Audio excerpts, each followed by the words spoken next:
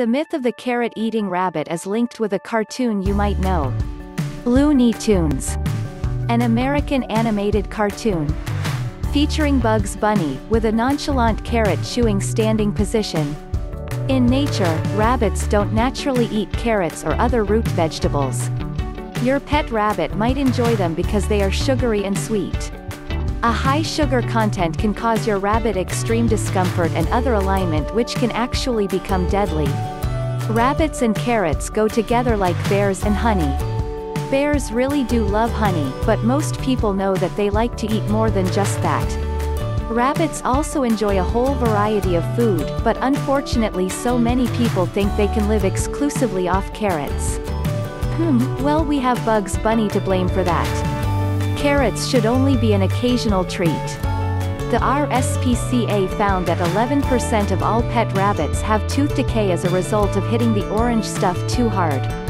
In bonus, here are a few interesting facts about rabbits. Number 1. A single bunny is a lonely bunny. Rabbits are social creatures and are happiest in the company of their own species. The best combination is a neutered male and neutered female. Number 2. They can become extremely sad and depressed if kept on their own. Number 3. According to studies, young rabbits that don't have enough space to run about are more likely to break bones. This is because they don't get the right opportunities to build up their bodies properly. Number 4. A baby rabbit is called a kit, a female is called a doe and a male is called a buck. Number 5. Happy rabbits practice a cute behavior known as a binky, they jump up in the air and twist and spin around. When you think of animals in shelters, the first ones who come to mind are dogs and cats. However, there are tons of homeless bunnies, and they also need love.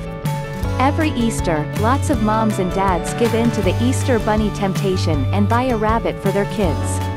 Once the bunny fever goes away, though, many people leave their new purchases alone in small outdoor cages called hutches, or release them outdoors, where they often starve or are killed by predators.